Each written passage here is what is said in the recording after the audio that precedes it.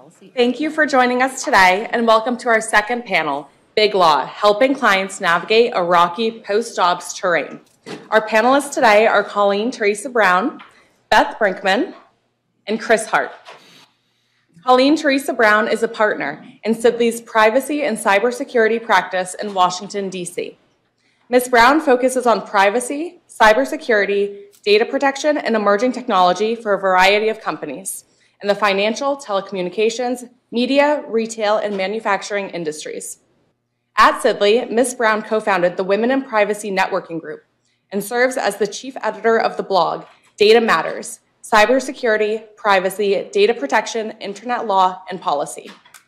Ms. Brown has been recognized as Cybersecurity Lawyer of the Year in Washington, D.C. by the Lawyer Network, listed as one of the world's leading female practitioners in privacy and data protection by Euromoney's Women in Business Law, and ranked as an up-and-coming privacy lawyer by Chambers. Ms. Brown received her BA from Loyola College and her JD from the University of Pennsylvania Law School. Beth Brinkmann is the co-chair of the Appellate and Supreme Court Litigation Group at Covington and Burling in Washington, D.C.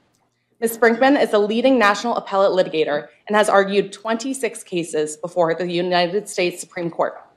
Before joining Covington, Ms. Brinkmann served as the Deputy Assistant Attorney General in the Civil Division of the United States Department of Justice, where she led the appellate staff during President Obama's administration.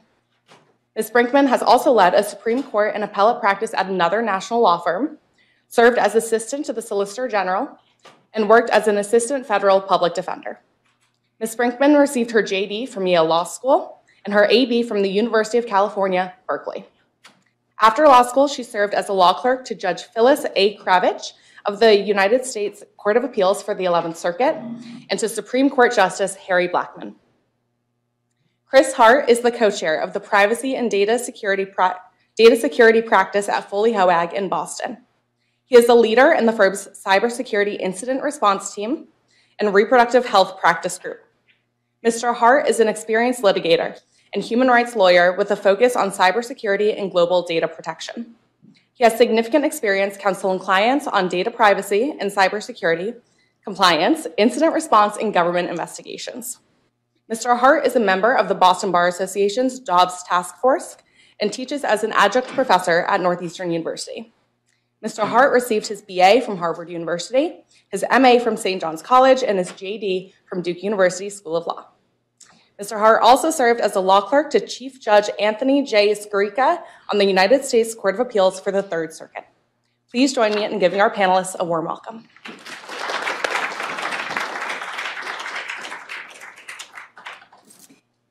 Okay, so I want to start off by giving Chris Hart the um, credit for the idea for this panel. I spoke with Chris pretty quickly after Dobbs, um, also a Duke alum, just throwing out there, Duke alum. And when he was telling me the steps that his firm took in response to Dobbs, um, I was amazed. I was hopeful. I was like, wow. Um, and then I started talking to other people. And then I started hitting up my other friends. Um, and to say, you know, what about a conversation along these lines? Um, I think a lot of people who come to school, a school uh, like Duke and who come to law school at all uh, have to pay their bills. Uh, and they and maybe they are loving to go to a firm and they've always wanted to go to a firm but some people end up at a firm regardless and some people would love to do work in this area and I have to say, I was amazed to learn that you can go to a big firm and do work in this area all day long. Um, I, I just, I can't even, we had our planning call for this uh, panel first of all, these folks didn't need a planning call. That could have just been the panel. And here I was, the recipient of all of this um, information they were sharing with me. And I knew what I was getting into. I designed this for them to come and talk about this issue that I thought was very important. And by the end of the call, my head was literally spinning with the ways that these post Dobbs laws are having ripple effects and consequences for the clients of these law firms, frankly, across the board. I was amazed. So, in lieu of a, a narrative arc, basically what I've done in, in this panel is asked each of these folks to share with us uh, their answers to some of these questions. What actions each of their firms took in response to Dobbs, how they are personally participating in those responses, um, their perspectives on the major ways that post-Dobbs laws are affecting their practice and their clients, and specific aspects of the Dobbs decision itself that have really guided their risk analysis for their clients. And then to talk about, in addition, any privacy-specific issues. If you're a person that's going to go practice in the area of privacy and security in particular, how might this come across your plate? Uh, but I think what we'll see is it's going to come across your plate, whether you're practicing in the privacy area or not. Um, but so I love to, to invite you all to just kind of go through some of the remarks that you shared with me on our call. And um, we'll start with Chris and then Beth and Colleen, and then we'll open for um, more com- conversation and questions. Well, Joanne, first of all, uh, thank you very much for organizing this. Thank you very much for letting me invite myself uh, to do. Uh, I, so, and I, and I, actually had the chance to do so. The reason that, that you and I got connected is because I reached out to David Hoffman, and I, who I want to thank as well. And the reason that I reached out to David Hoffman is because I'll take any excuse to come back here. Uh, and I came back over the summer for the cybersecurity leadership program and got to meet uh, David and see the the amazing work, and it really is amazing work that the law school uh, and the university as a whole is doing uh, in privacy and security. So thank you, David. Thank you, Jolynn. And I'm very, very proud to share the stage with, with both of you. So thanks. Um, so um, I'm a partner at Foley Hoag. Uh, we're a law firm in Boston. We have, um, I don't know, 320 attorneys across five offices. Um, I'm a litigator, uh, and I co-chair our privacy and data security group. Um, after Dobbs came out, um, uh, I had a call with the chair of our uh, healthcare regulatory practice um, and a member of our white collar practice. And the call was essentially, what can we do about this and what do our clients need? And, and, and there are two distinct questions. Um, what can we do about this, right? In other words, what, what action can we take um, to try to um, solve the problem or problems. Um, and that, that I see as a, uh, a question of, of moral direction, the way that, the, that we saw the impact of the decision. Um, but the other is what do our clients need? Um, and uh, what, what is it that we can offer uh, to our clients to help them navigate this space? Uh, because from my perspective then and my perspective now um, is that the dominating feature of the uh, post-Dobbs era as of February 2023 is uncertainty. Um, there is a lot of uncertainty about what is going to happen. Um, and what we recognized immediately was that a lot of clients were going to share our um, our concerns about uh, this this right, this well-established right that's been stripped away, um, and and how they can best help their employees, but also uh, and and their whatever their views of what they can best do um, they needed some guidance and that we were well positioned to do so. So I co-chair a privacy practice. I'm a litigator. We have a healthcare regulatory practice. We have an FDA practice. Um, we have an international uh, law practice. Um, the list goes on. And none of us know, really any one of us, um, all of the areas of law that are touched by Dobbs. But there are many, many people at the law firm. When you put them together, um, they can collectively uh, help our clients. So the immediate question is, what does this look like? Is, is this a task force? Is this a practice group? Um, and, and we decided it was a practice group, which is, you know, is a commitment, right? Um, uh, I, there's, there's a lot, there was a lot of good reason to make this a task force because it is multidisciplinary. Um, it's not really any single area of law uh, in which you're practicing, um, but also because uh, uncertainty is also what is this going to mean in two years, right? It's not like having a litigation practice group where everybody's going to be litigating all the time forever. Um, so what does this actually look like? But we thought that it was important because uh, the contrast was with our COVID task force. COVID was going to end someday. Well, it's really not going to end someday, but um, at least the, the acuteness of the pandemic was going to end, end someday. Dobbs was going to be permanent, at least for a long time, for a long time. And the landscape, the legal landscape, um, was going to slowly come into focus, but also change. And I think that we recognize that. And so we decided to make this a, a practice group. Um, and of course, there's, I won't bore you with the internal uh, firm bureaucracy because it is boring and there's a lot of it. Um, but, but we had it stood up in two weeks. And that is, I, I don't know what you would say for Sidley and Covington, that's a remarkable period of time to create a practice group and to advertise it and to have 20 lawyers in a meeting every week for a couple of months trying to figure out what we're going to do, who we're going to help, how we're, how we're going to help. So that's, that was the idea behind it and, and how, how we got started. Um, we immediately uh, provided a lot of advice to a variety of different organizations. Um, and, I have a long list. I'll, I'll forego the long list um, because I, I think it, it would be it'd be better for me to tell you the things that I was involved in. You know, and I'm, I'm involved as a privacy lawyer. There wasn't hasn't been too much for me to litigate yet, so I've been involved really providing privacy counsel. Um, and I will highlight three organizations. Um, and I will not name any of them for client confidentiality purposes, but one is a large private health insurer. Um, and the large private health insurer wanted to understand, okay, what if we get some kind of information request? They- They're based in, in Boston. What if we get some kind of information request from the AG's office in Texas, from a private litigant? What if there is a criminal warrant for a provider? What do we do in response to those kinds of situations? We have no idea. We have no idea what the law is. We have no idea what our defenses are. Um, and they also made the interesting point that, look, you know, directionally, we don't want to give any of this information away. In response, we want to be able to, to um, defend against any request for information. But we provide health insurers to employers who may be fine giving this information.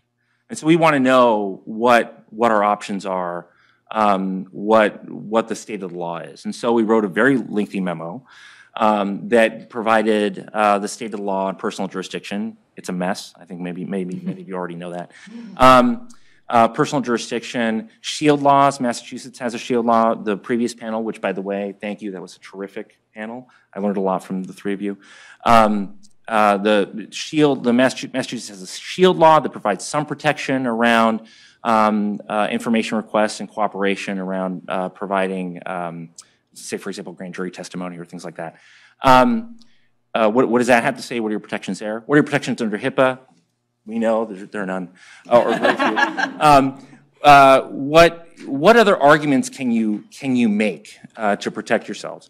Um, and what we learned in that process was that um, there are a, there's again a lot of uncertainty in the sense of a lot of these questions are untested. They're really they're they're not questions that are going to be easily answered until they're litigated or until they're challenged. Um, and uh, and and- but there are some arguments that can be made. Um, and, and here's your playbook for it. And that's what we've called it, is our, is our playbook. We did something very similar for a large civil rights organization that wanted to provide training to providers um, in Massachusetts uh, on what the state of the law was. And so we provided them a playbook um, around what arguments, what, what they, what they should avoid doing, what, um, whether they should be worried about uh, being present in a, in a virtual telehealth session in Tennessee, uh, and whether after they close the browser, they're, they're going to be subject to extradition because they fled the jurisdiction, um, uh, for example.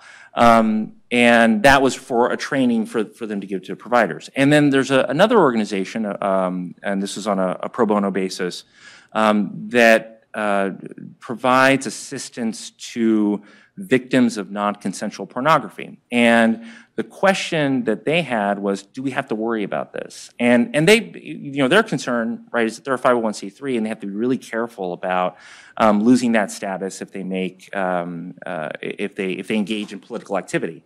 And so, you know, what do we have to say about this? What can we say? And the discussion there was, well, is, is reproductive health information something that um, can be used to extort these same victims? And honestly, the, the, the, the look on faces of the members of the board was, what are you talking about? Um, and, you know, thinking about the, those kinds of consequences, and we ended up writing a playbook for them as well. So that's, you know, gives you a sense of the kind of advice that at least I've been involved in giving. We have employment lawyers who give advice on benefits and the impact of EMTALA. Um, uh, we have FDA uh, lawyers who are talking about the impact of executive orders or new regulations. Um, I will say this, and then I'll, and then, um, and then I'll stop talking.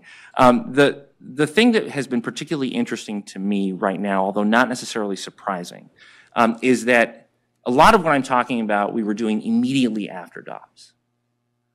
Um, And I would say that over the past few months, especially since the election, things have calmed down a bit from our clients' perspectives.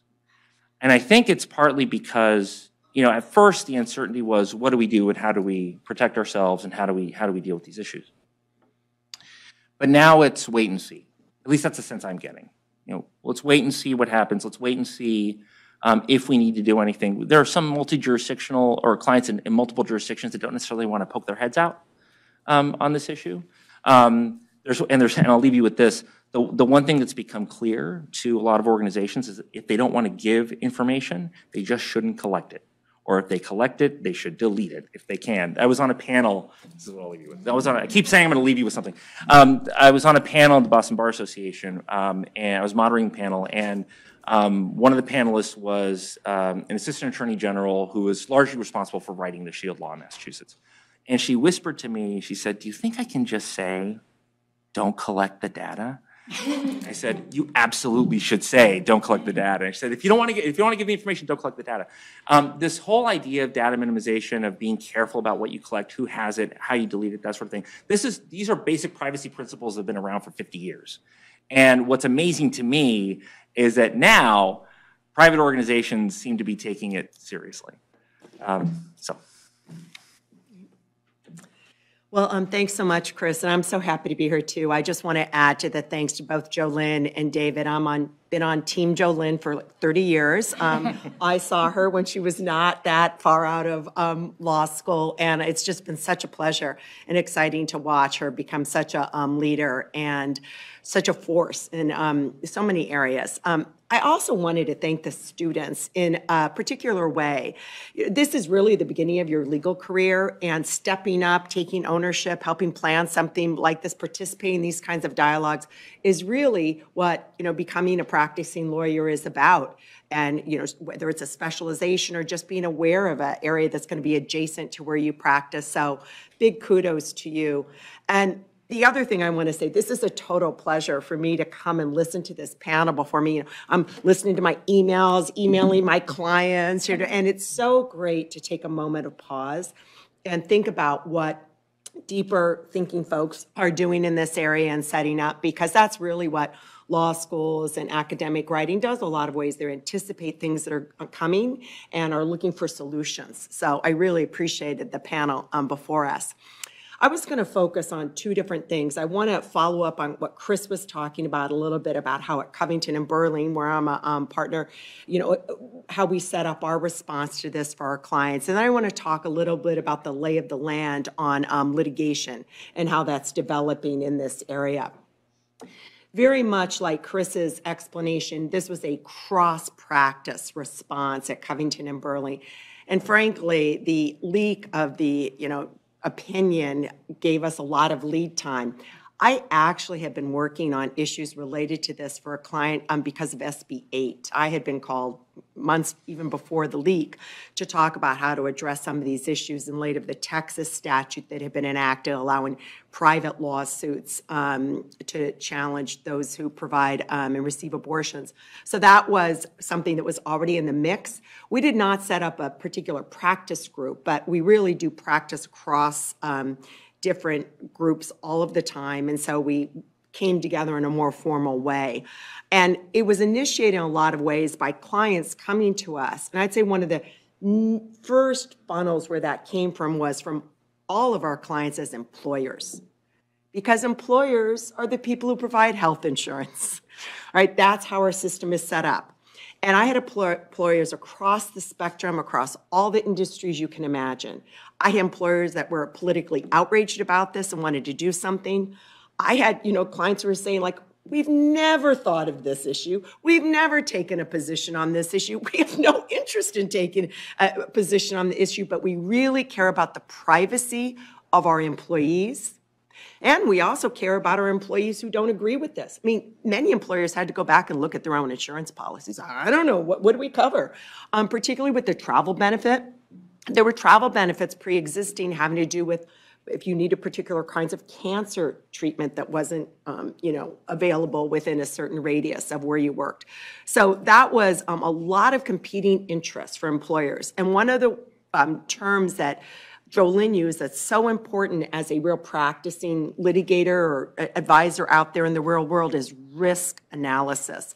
Because what you're, you can't give them yes or no answers to these things. So your clients have to determine what the risk is. And one of the questions came up like, who has this data? And is the data we have, does it just say they're getting, you know, OBGYN care or reproductive care? Like, what detail of data do we have? And why do we have this? You um, and trying to figure out um, where that was going forward. So I think it's driven employers to look at many things um, that they had not looked at before. Um, in addition, we have a couple different privacy practices. I think unlike um, Chris and Colleen, I do appellate and Supreme Court work. I do regulatory work. I sue the government. I know a lot about FDA and regulations. I don't do that much data privacy work, but I work with my colleagues who did. And so we have our data privacy folks and the people who advise mainly tech clients, but a lot of clients about law enforcement efforts and subpoenas and data. But then we have, we do a lot of um, government-facing litigation involving pharmaceuticals at Covington. You know, we have, since the FDA was created, you know, we're a very classic DC firm in that way. So we have, you know, our HIPAA team and our FDA regulatory team. So all of us came together, and when a client comes in, we would say, you know, give the answer maybe about employment and, you know, you need to talk to our employee benefits folks about ERISA. There's an ERISA preemption argument. Federal law of ERISA may preempt a lot of um, the restrictions in the employment um, insurance area, but that depends upon what kind of health insurance plan you have at your company. And and the people I'm usually talking to, they don't know. They have to go talk to their employee benefits people. So when you think about a client as a, and these are nonprofits also, you know, they're for business corporations, they're nonprofits, and they're having to talk within their own entity. So sometimes your advice to your client is this is the information you need to go find out from other people in your organization. The um, next topic I wanted to talk to was really about how we're keeping on top of this and what the development is in litigation to kind of follow as the second chapter of what you heard on the first panel. So we've been, you know, monitoring all of this for our clients. Some of them want weekly updates, some of them want monthly updates. You know, we have regular calls with some of them because many of our clients operate in several states you know, the, the best thing, like the, my theme for kind of client advice, the most important thing to most clients is one rule and stability. they don't have one rule, they have 50 rules, and even those 50 rules are completely changing. This is a nightmare for anyone who just wants to, you know, run a nonprofit, run, run a business, and take care of their employees. So when um, we've been trying to keep them on top of all of this, it, has been interesting. We, we tell them about the statutes. And of course, here, there are statutes that were from before Roe, that were after Roe between Dobbs, that were triggered by Dobbs. There are a couple new statutes like Indiana enacted after Dobbs. And then there are the different kinds of statutes like that Texas statute, SB 8 I mentioned, where they let individuals sue. That was a particular concern when um, Dobbs first came out, and there was an expectation that there was going to be a wave of similar state statutes. As of now, really only Oklahoma has that kind of similar statute, although we know that there are other states that would. And one of the um, kind of uh, frameworks I think that's important to understand about why that's a different kind of concern is not just because you might have individuals who just want to get money from that kind of suit, but it's what, you know, Stephanie was talking about prosecutors and their discretion and how they decide who to charge with a crime. And in Oklahoma, for example, the attorney general issued a, you know, statement explaining that the, for, the law enforcement officers should deprioritize, not focus on prosecuting women, you know, focus on kind of bigger offenders, that type of thing. There is no restriction like that on individuals bringing lawsuits. So I do think, and I, I spent more than 15 years of my career at the Department of Justice, but I was also a public defender. I've seen both sides of criminal prosecutions. I do think that the government actually serves as a guardrail on who gets prosecuted and who goes after, maybe different states differently, but there's no kind of restriction like that on private lawsuits. So the fact that those lawsuits, that those new statutes did not come to the fore was um, very interesting. So then after, you know, we advise clients about all the statutes and all, then it's all about, well, then come the lawsuits and where that litigation is going. So we've been following the um, lawsuits that are being brought primarily under state constitutions. And the day that we had our pre-call um, was quite momentous because on the one hand, South Carolina, the Supreme Court said that the South Carolina Constitution protected the right to abortion. And then immediately thereafter, the Idaho Supreme Court said the Idaho State Constitution does not protect abortion. The interesting thing about these cases and their implication for um, privacy makes me just want to focus for just a couple minutes on the two opinions. Um, a big headline I want to say is they were both three to two. One vote in those states. I mean, that was surprising to me. It also might be interesting for you to know how the ju- judges on those courts are selected. I'm Google, I'm, I'm Wikipedia, like Googling. South Carolina, the members of the Supreme Court are chosen by the General Assembly.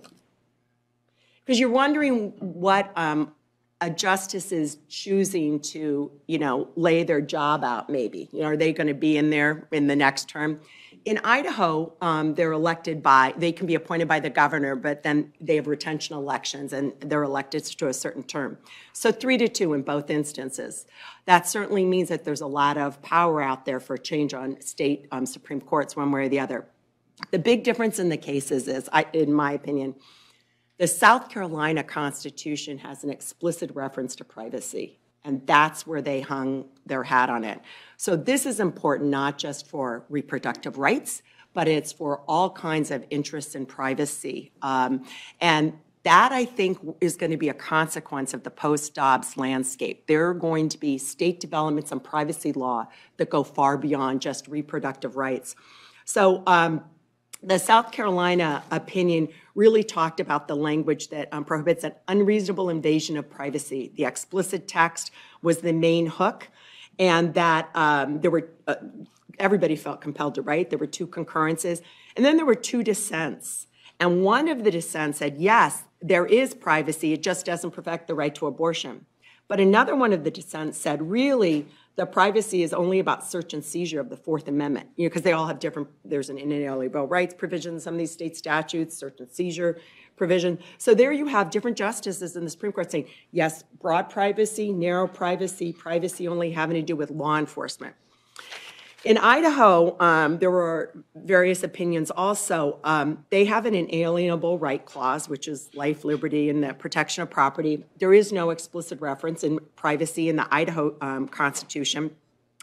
And the arguments there had been about whether or not there's a right to autonomy, privacy, intimate family decisions under the Idaho Constitution. Interestingly, the majority said, regardless of whether those exist, there's no right to abortion. So there was a state Supreme Court saying, we're not engaging in all of this um, general uh, development of law about privacy. We're going to be really focusing on abortion here. And it went through these provisions and it said the search and seizure provision, you know, the analog to the Fourth Amendment, isn't a source of substantive rights at all. Um, there was a um, provision in there like the Ninth Amendment that rights are left to the, to the people. And they said that isn't a source of um, rights either, just pre-existing. And then they went to the individual rights, the due process, and followed a analysis that's very much like Dobbs, that it wasn't deeply rooted in the history or traditions of Idaho. Um, but there were two dissents there also.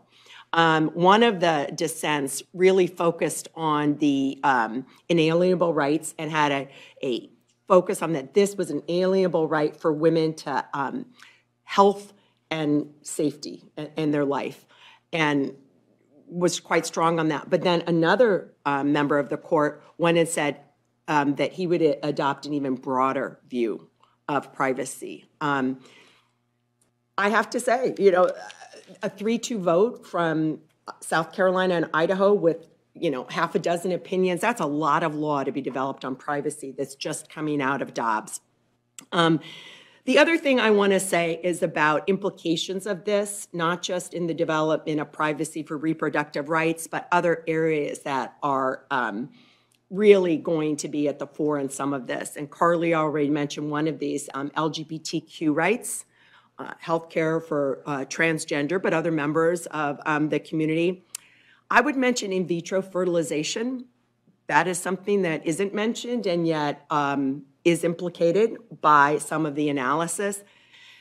And the other thing is birth control.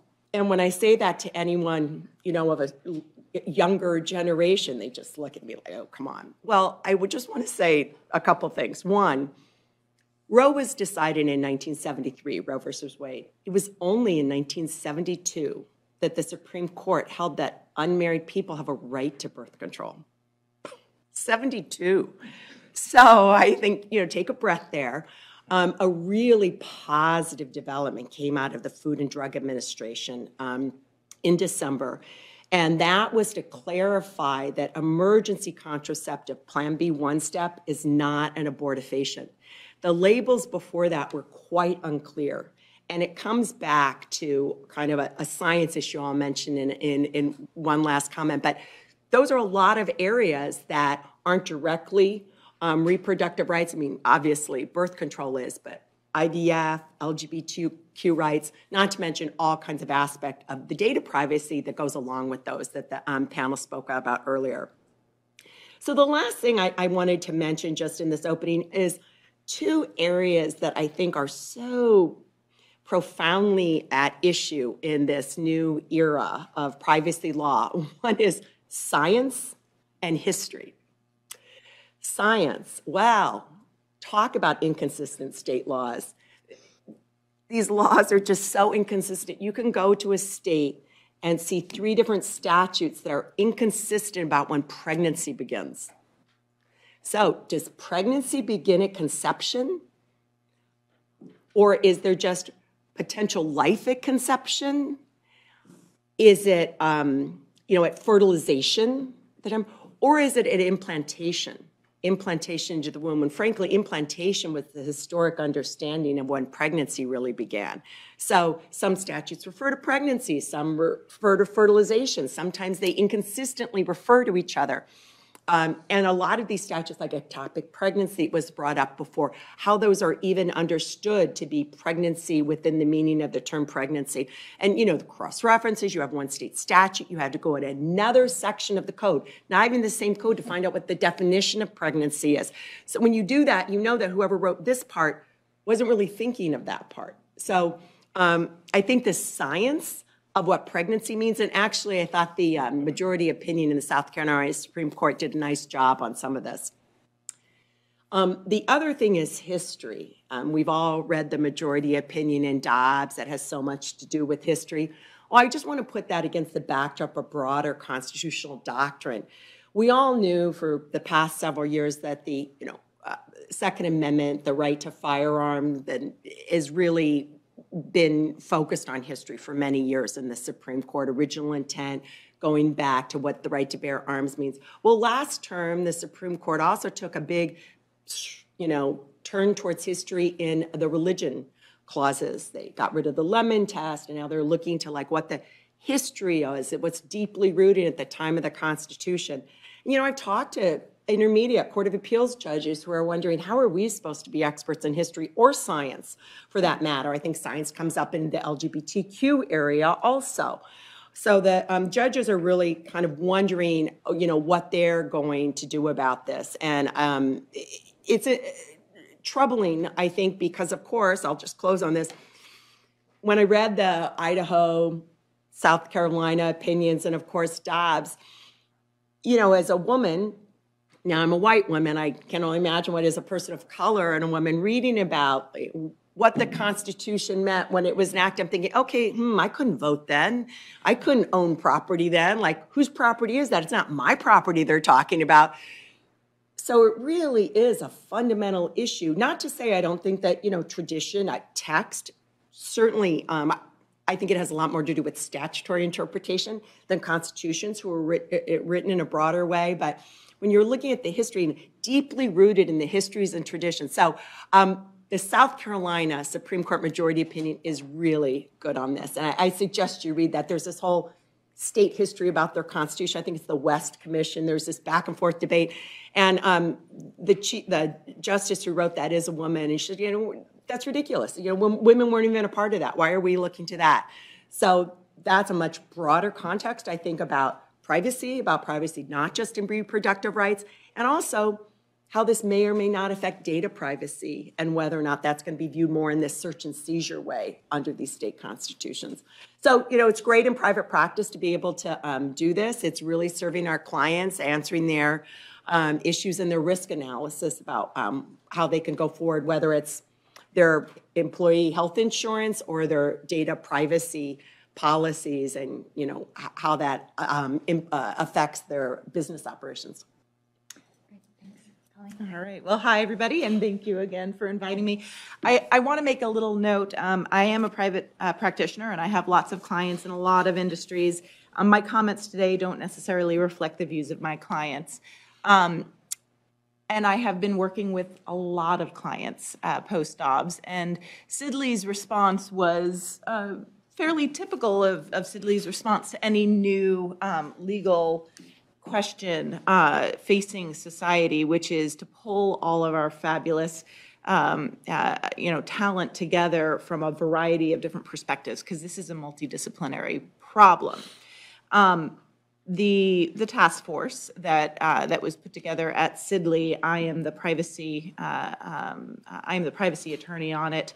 But we have folks from literally every practice group. I believe the only exception is tax.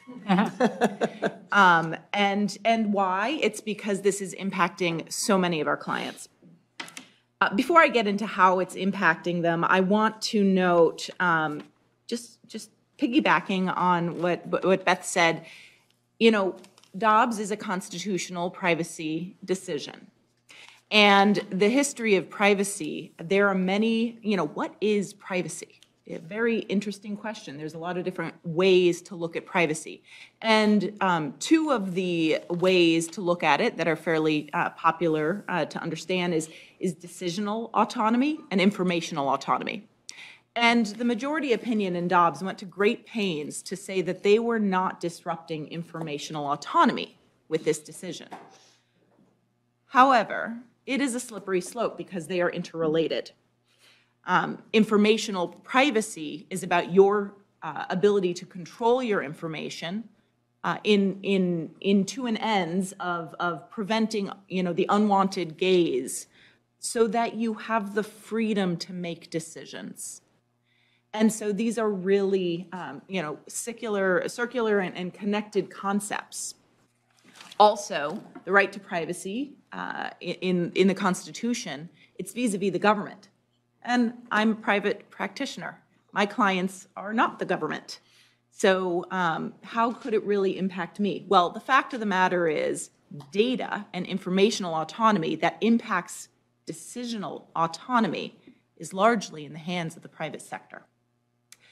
The private sector participates in the information economy, the digital economy, the digital exhaust of our lives that has only escalated over the last decade, two decades. And our clients uh, saw this coming, and they had a lot of questions, and they knew they were going to be impacted from a variety of ways. And what they come to their trusted uh, partners, their, their counsel for, is help with the fundamental issue for a business, which is risk management. To piggyback off of another uh, of Beth's themes, companies have to manage risk. And to manage risk, they have to articulate and understand the risk. And in a world where everything is vague and ambiguous and could potentially carry not just civil penalties, but criminal penalties and reputational risk, it is very hard to manage your risk. To uh, call back to the first panel, to figure out what are the trade-offs here even looking through the trade-offs, um, a lot of them are certainly not obvious. And one of the great pleasures of practicing in this era, dealing with this uh, earthquake, was learning every day the new trade-offs and the implications, frankly surprising me every day. Um, And one thing I want to say also is, is especially for the law students there, um, lawyers are great when they stay curious because you can continually learn. Um, uh, you think you know, uh, you know, HIPAA. I'm a privacy lawyer. I know, I know HIPAA. Um, you know how many different ways there are. Uh, I don't want to call them necessarily loopholes, but openings for data to be shared in this context. For example, thought I knew a HIPAA cold. I didn't realize, you know, how much it was ineffective here. I mean, I knew it was going to be ineffective here, but oh man, it's really ineffective. And then when you have, you know, the government issuing essentially assurances that are potentially misleading.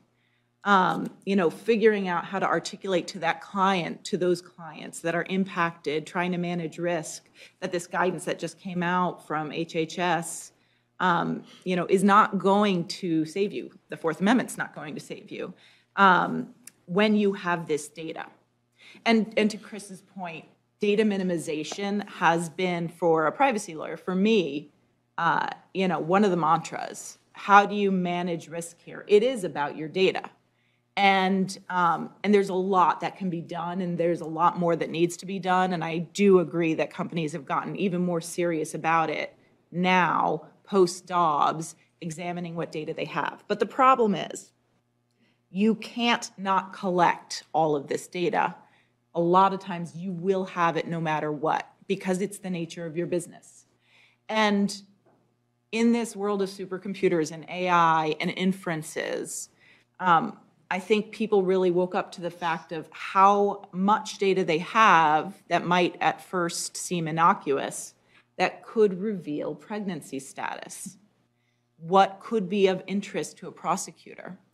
Um, and it was really eye-opening, and, and for many, many companies, there's not so much they can do about it because they're going to have to have the data.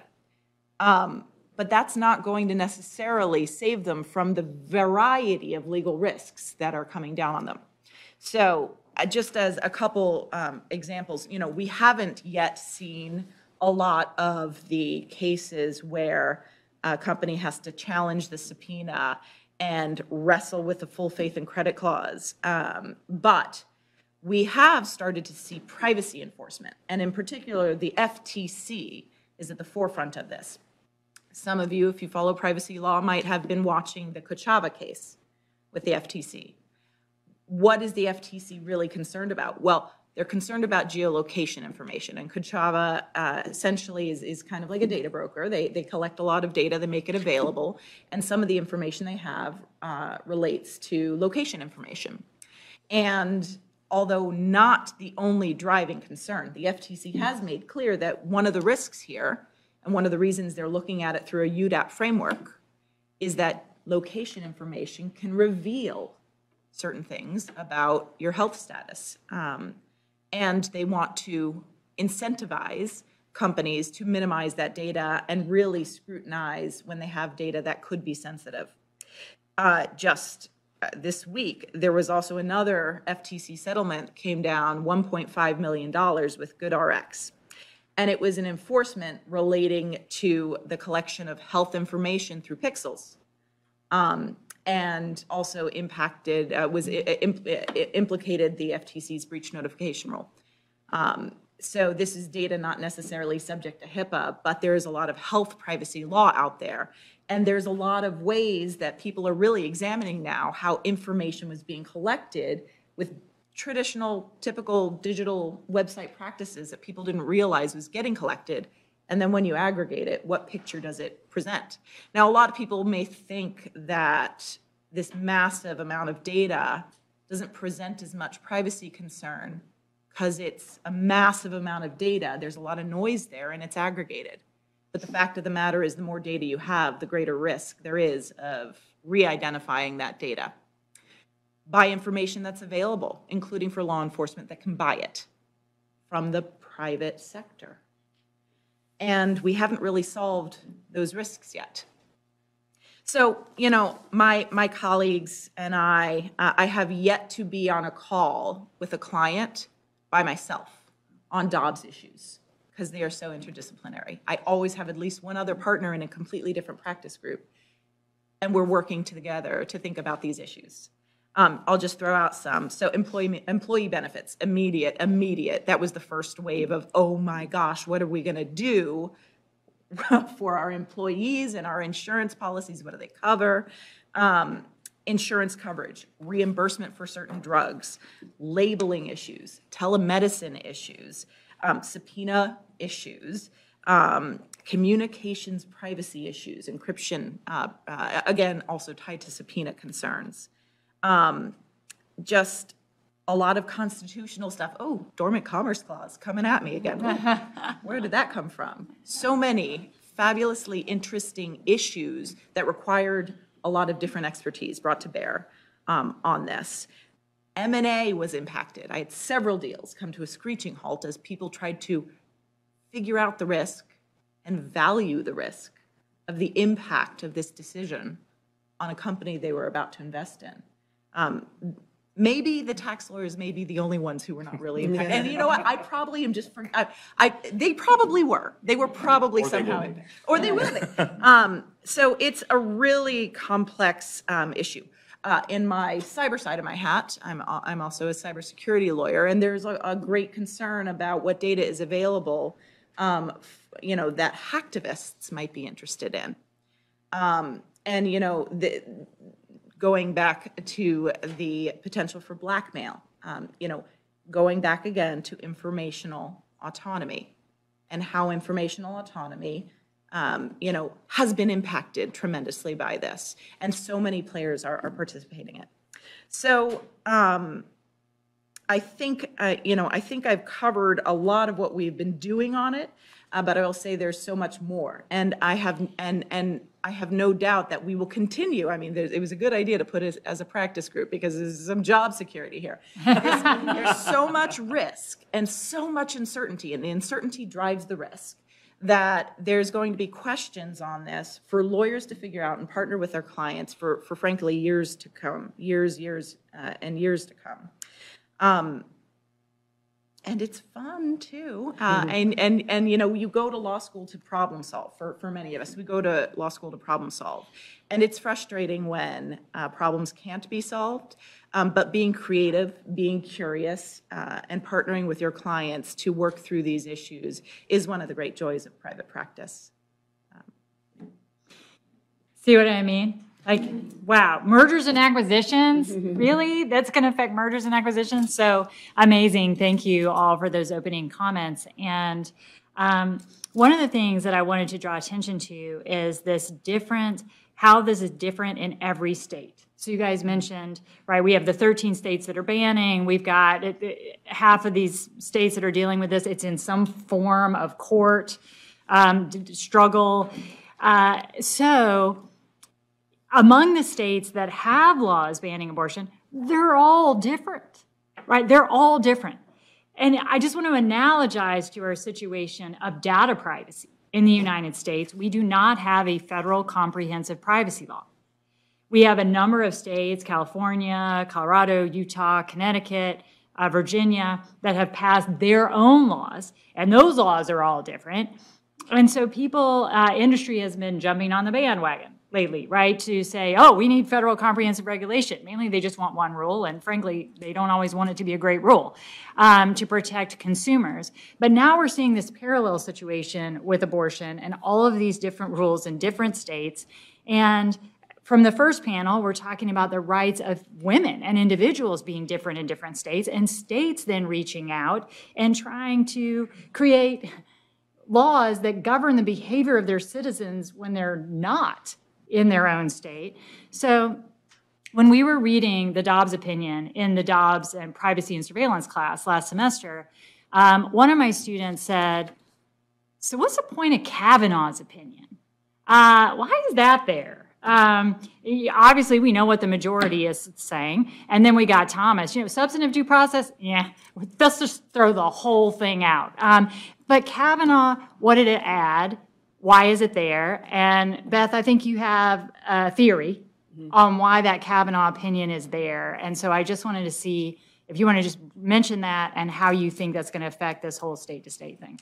Sure. Um, I think one of the most significant sentences for my clients that came out of the Dobbs opinion was in the concurring opinion by Justice Kavanaugh, where he noted that, you know, he supported the constitutional right to interstate travel.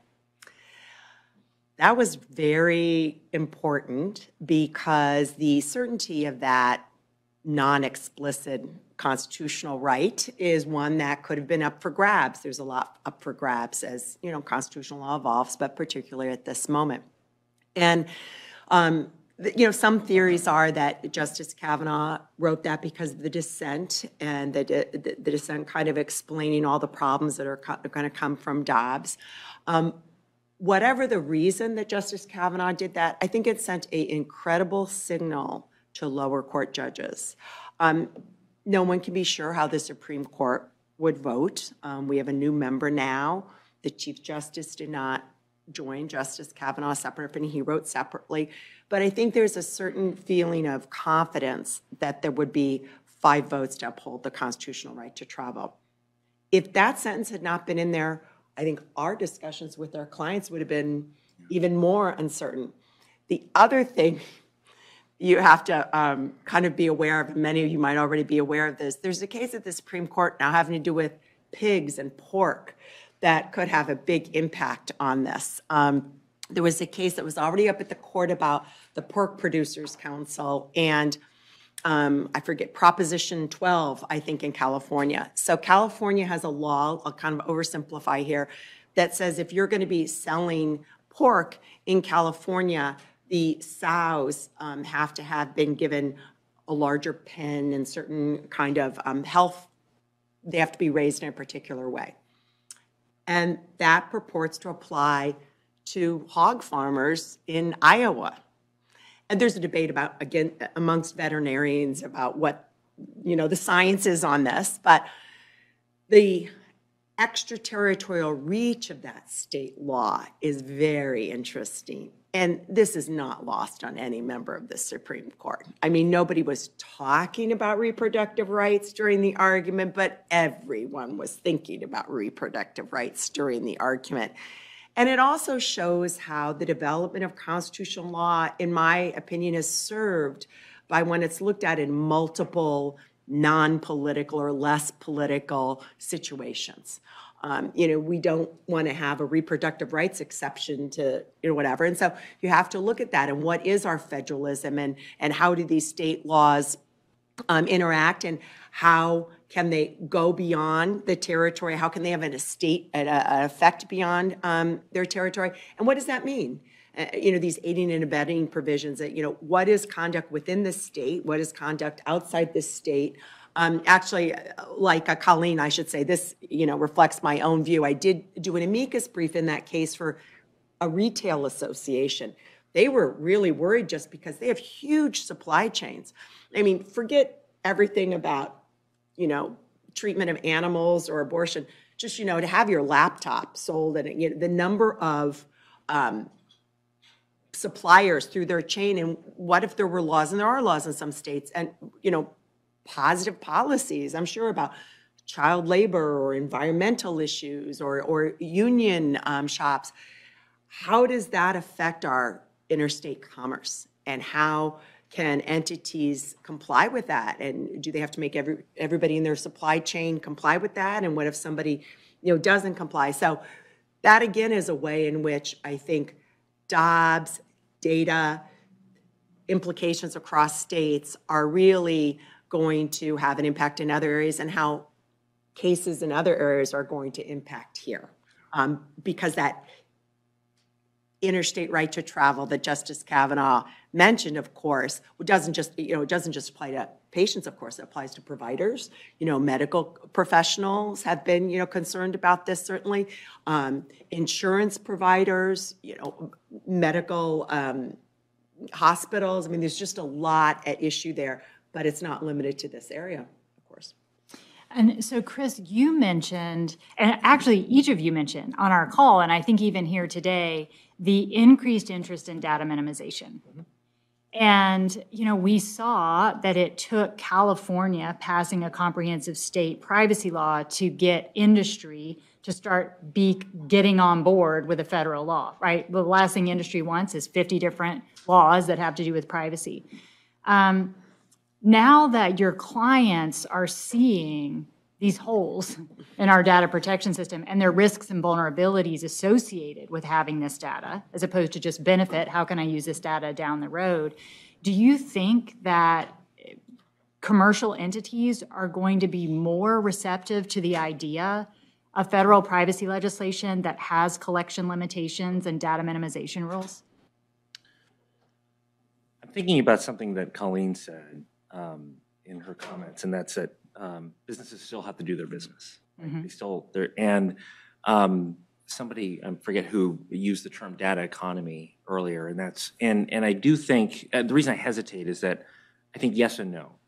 Yes, in the sense that um, I think there's an awareness of how um, difficult it can be to protect employees um, from information requests, given the state of the law and given how much information they collect. So I think that, that th- there's been an awareness raising.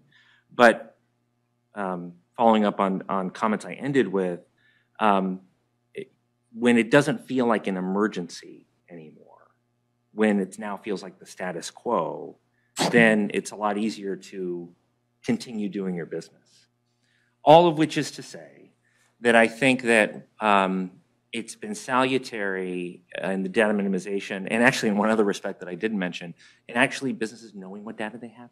It's actually remarkable, remarkable how much organizations do not actually appreciate and understand how much data they have, how long they have it, who has it, et cetera.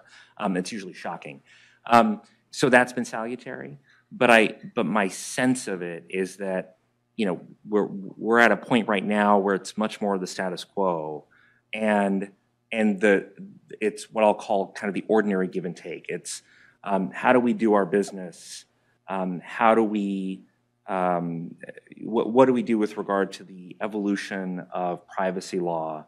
Um, How do we protect our employees? Yes, but, you know, we also need to do our business. And the, the question about AI is very interesting, um, Colleen, that that Colleen raised, because um, that, that is now a ubiquitous technology, uh, or series of technologies, right? Who came here to define AI? No. Um, And, but it requires an enormous amount of data. Um, uh, And, uh, and, and that, that data sort of, you know, exists sort of forever, right? Because you're sort of constantly training on it. And so I've had conversations with clients where I've talked about this concept of data minimization, and how that's, that's going to be a uh, more increasingly codified uh, area of, of privacy law. But then I get a lot of this pushback. Um, And even in conversations about minimization having to do with protecting employees, there's still this question of, well, we need X data, we have to maintain Y data. Um, So, so I do think, I do think it's a much more fraught um, issue, um, uh, even though I think there's an increasing awareness of the dangers of, of uh, collecting and maintaining um, large swaths of potentially very sensitive. Interesting, interesting. And, and Colleen, I was so happy to hear you call out that majority opinion on their distinction between decisional privacy and information privacy. And I think it was in their discussion of looking back at Roe and, and the case saying, well, the only, the only cases that, that could possibly be implicated here are the decisional privacy cases. And I'm like, uh, no, you are so wrong. I'm a, no, you are so, what, who taught your privacy class?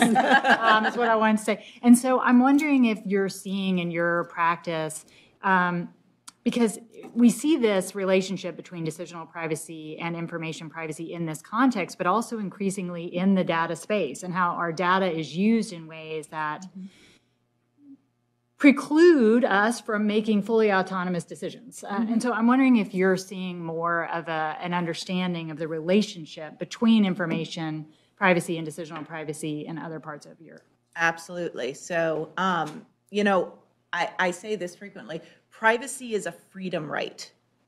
Privacy gives freedom.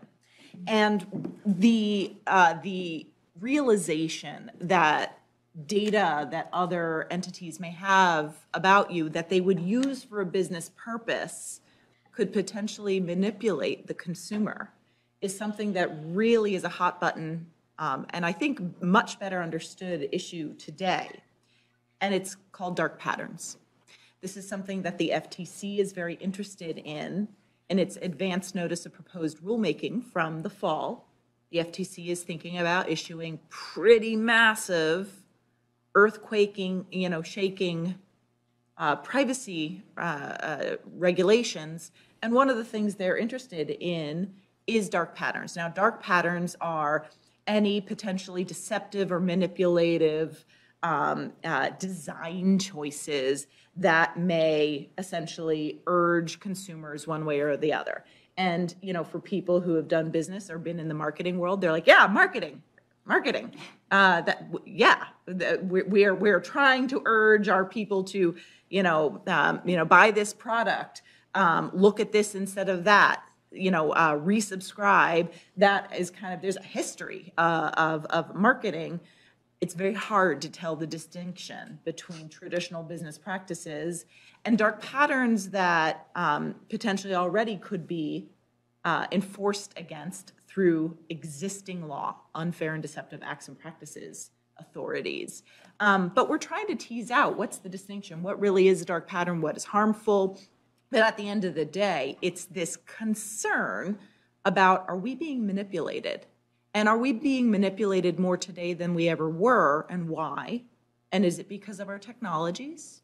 And is it because of the information powering our technologies? Uh, and that's a privacy law cutting edge issue. And again, why? It's about freedom. Uh, it's also a little bit tinged with antitrust. I'm married to an antitrust lawyer, so we have a lot of debates, uh, you know, at home about this. But these issues are related. Uh, data uh, can power consumer choice data issues are now being considered in, in antitrust law very closely. Um, and at a global level, we're in this big conversation, frankly, led by the EU. US should be leading more on this, but right now it's being led by the EU about digital services regulation. Going to, again, speaking of earthquakes in the law and how we're going to do business the digital services uh, regulation that's coming from Europe is trying to also figure out, you know, how much data is too much data and what rights do people have? Are there shared ownership rights? You know, what um, custodial-like responsibilities do you have with regard to data? And when you provide certain kinds of services that involve technologies. And it's because this issue of these technologies and this information that's out there at a certain level, um, you know, does it impact people's behavior? in problematic ways, in ways that we should be regulating? Does it take away our freedom? And it's a real cutting edge issue. Yeah, and so a lot of those user design interfaces also are they are prompting the sharing of information. They want you to pick the, the, the version of whatever it is, the app that shares more information. Um, so uh, sometimes, you know, uh, Flow, I think, Flow, uh, the app, uh, the period tracker app, added an anonymous uh, version of the app in response, I think, to a lot of this. But it is super, super, super hard to find. And if you use that aspect of it, the anonymous part. A lot of the functions don't work, but but we're just being pushed in ways to share more and more information online that can be used to make decisions about us. And in the context, as we discussed on the first panel, of having our mobile devices or data that is shared with third parties available to law enforcement in states that are criminalizing abortion, putting people even more at risk for sharing that information. Um, I'd love to open it up to you guys um, to have some questions about practicing privacy in a law firm and how privacy and security uh, are coming into play with these new laws criminalizing abortion. Um, anybody would like to, to start off? Questions from the audience? Yes, Alvin. Uh, so I have three questions.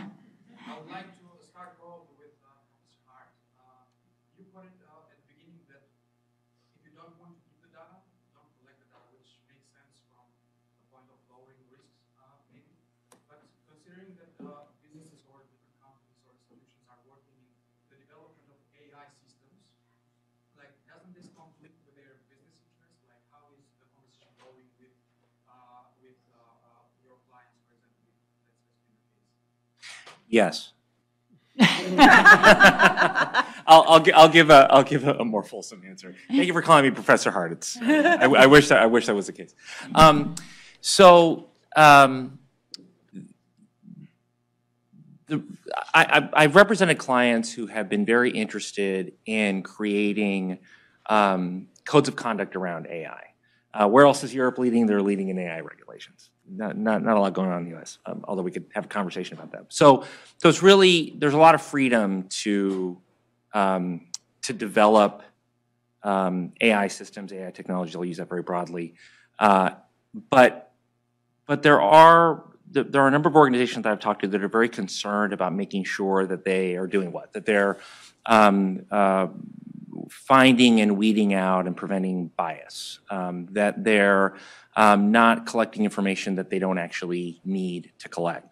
Um, and so they, they want to have some kind of internal guardrail to do that. The, the problem with that is, at least in my experience, and maybe, maybe you have some thoughts about this, um, anybody here. Um, the, the problem with that is that um, it, it's very hard to exclude specific data if, if you're trying to create um, a, a broad-based decision-making kind of, or predictive kind of, of system, right? So, for example, um, outside of the Dobbs context, uh, uh, one, one question is, what about uh, collecting um, racial data or demographic data or income data, right? I mean, this is all potentially sensitive information. It's, it's information that could lead to um, uh, problematic um, outputs. But it's hard to, to create a bright line because you can imagine ways in which that kind of information can actually um, help prevent the very bias that um, that that you're you're trying to uh, to not create. So, um, so what ends up happening um, in my experience is that organizations are, are really serious about this issue, set up uh, guardrails that include things like um, testing models um, uh, that include auditing outputs, that include uh, pretty broad-based governance around um, the coding, the inputs, and the outputs. And so, um, so the answer is, is yes, there, there could be a tension, right, if there's certain kind of information, like the, the, the obvious, an obvious piece of information that sort of cuts across might be geolocation data, okay? Um, yes, it can create uh, a, a lot of difficulties if you're trying to minimize what you're collecting and using. Um, but I think it can be very difficult for organizations, we're speaking the abstract, for organizations to completely exclude entire categories of data and have um, successful tools that they can use. I don't know if. I- I'm gonna, I'm just gonna echo something. I want to ding, ding, ding, ding, ding on a word that he just used. Governance. Information governance is the, is one of possibly the most important key here for companies to manage risk. And I'm also going to ding, ding, ding on another thing that, that he said, which was companies often don't know what they have. You can't govern what you don't know. And so these are foundational programmatic issues. Um, you need visibility into your data. You need to figure out why you want the data, what you want to do with it, who you're sharing it with, how long you're holding on to it, and how you're keeping it secure. And then you need to think critically about the choices you're making uh, with respect to each of those things and have governance in, in, you know, set up for that. What does that mean? It means, you know, one person doesn't make these decisions. Uh, It means collecting information from across the organization and bringing them together. It, it means checks and balances within an organization. And so, um, does a day go by where you don't say the word governance in your practice? Yeah, governance, data governance, so important right now, but it can't mitigate all risk. Yeah. So I just have a question about kind of the double standard that seems to have been established here and that the government or certain key players would like to protect the consumer and prevent data brokers from collecting excessive amounts of data that can be re-identified, but the government itself relies on data brokers for certain things like fraud protection. So how do you think moving forward, they will kind of balance that need, especially looking in private entities to acquire that data? How will they balance protecting the consumer while also meeting their own needs? Stephanie?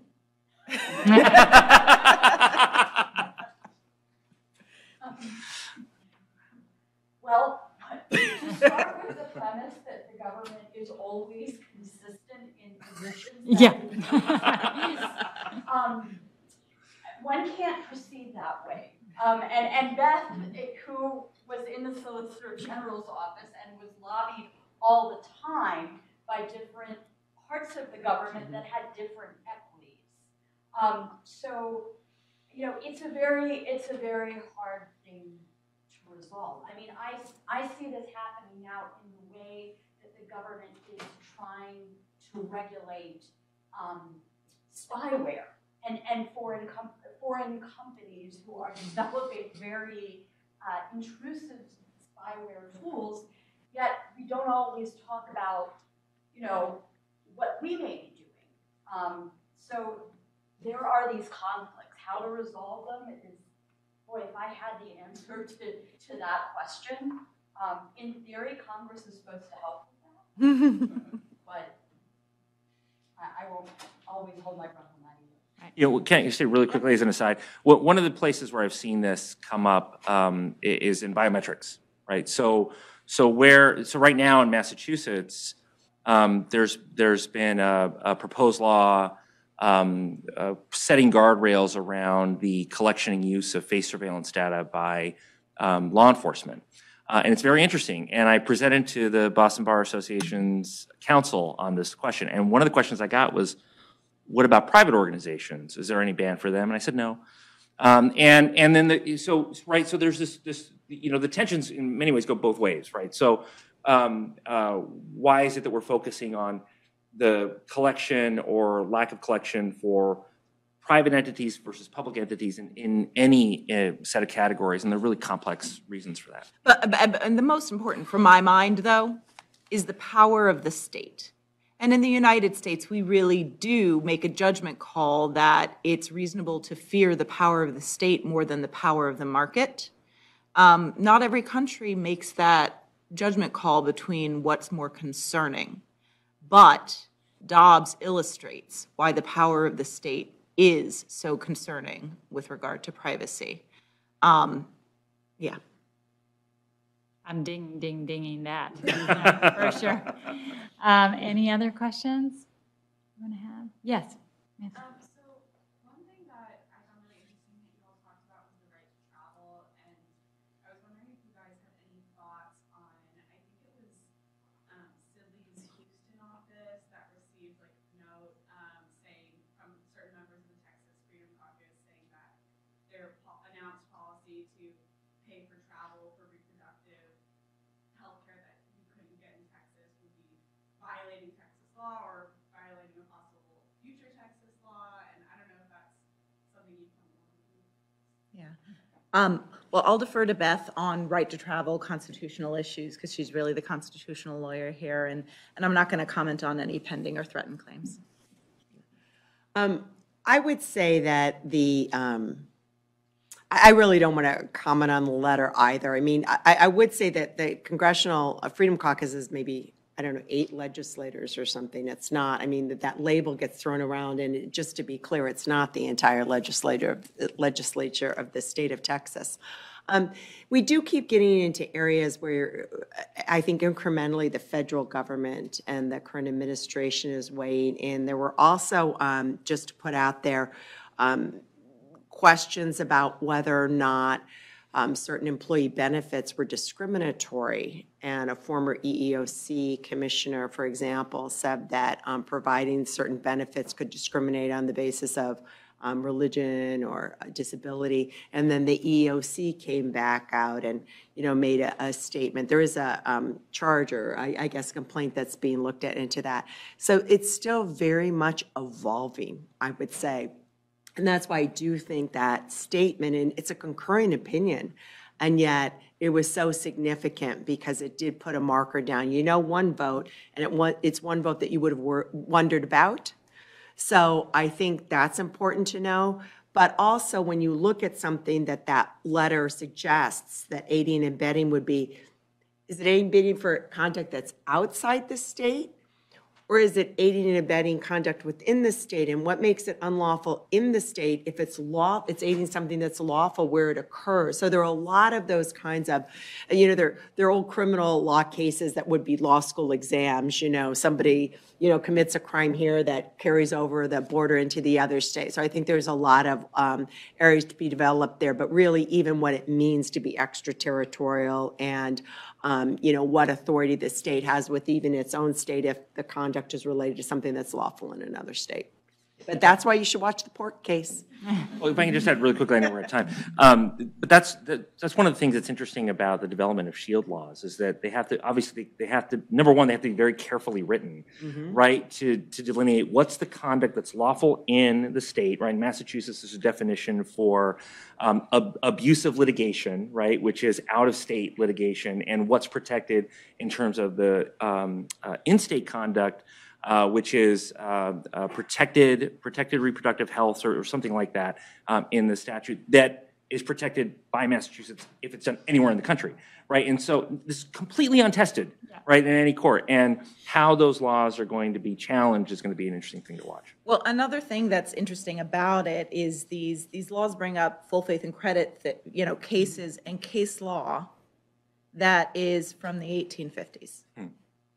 And so, you know, the last time we wrestled so much with those, you know, it, it led to some pretty disastrous, uh, you know, consequences for our country. And, and the fact that we're in this moment where we're looking back to case law from that moment um, says something.